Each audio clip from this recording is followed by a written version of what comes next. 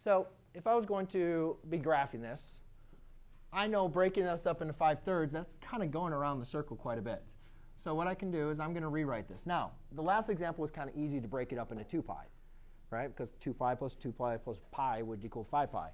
But what we need to understand is if we're talking about thirds, then 2 pi is equal to what? How many pi's over 3 is equal to 2 pi? 6, right? Because 6 divided by 3 is 2. So therefore, I need to break this fraction up into 6 pi over 3s. Well, again, guys, remember, adding fractions, you're just adding the numerator.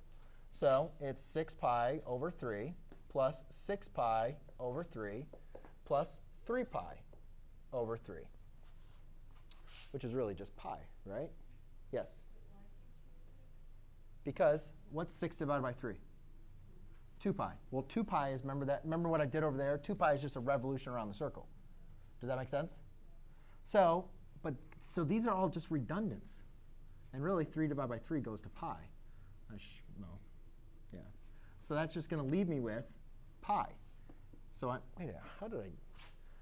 Oh, you know what? I'm obviously 15 divided by 3 is 5. I just picked a stupid problem to do.